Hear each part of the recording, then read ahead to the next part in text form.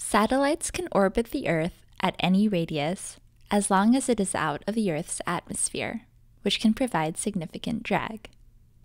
The speed required in an orbit depends on distance. The relationship is complex, and we'll explore it in a bit. But in general, the farther the satellite from the Earth, the slower it needs to travel to maintain a circular orbit. As we can see in the left graph, the acceleration of the spacecraft caused by the pull of gravity falls steeply with distance from the center of the Earth.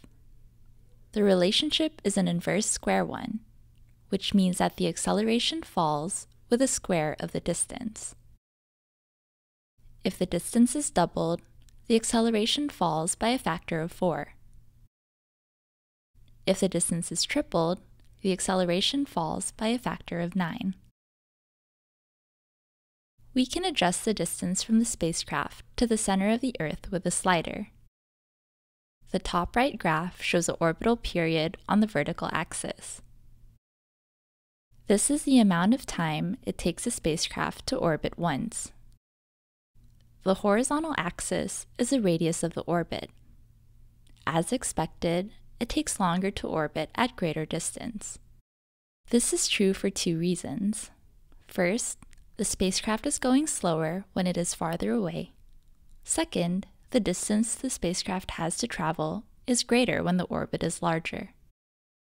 For an object in circular motion, the acceleration is speed squared divided by circular radius. The acceleration due to gravity is a product of the universal gravitational constant and the mass of the Earth divided by the square of the circular radius. The speed is a ratio of the circumference of the orbit to the period of orbit. This can be thought of as just distance traveled over time for one orbit. Combining all of these equations, we can solve for the radius required to get an orbit with some time period t. This equation is known as Newton's form of Kepler's third law. As you can see, the square of the period is proportional to the cube of the orbital radius, a relationship first discovered by Johannes Kepler. Arthur C. Clarke imagined a communication satellite that orbited the Earth with a period of exactly 24 hours. That period is special because it is the amount of time it takes the Earth to rotate once. If a satellite is orbiting with exactly this period, it will appear fixed in the sky from an observer on Earth. This is useful for communications. You can send signals to and from the satellite without having to point at it. It is always in the same spot. Satellite television works this way. As you can see, if we set the orbital radius to 6.6 times the radius of the Earth, its orbital period will be 24 hours.